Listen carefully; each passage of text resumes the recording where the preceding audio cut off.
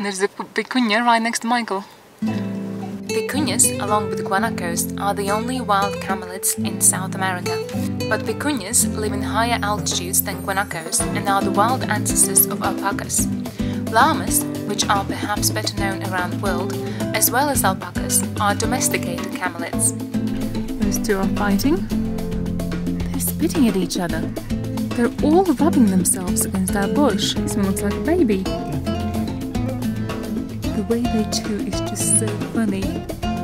These vicuñas are completely not worried by our presence here. They're happy to just sit there and eat their food while we stare at them.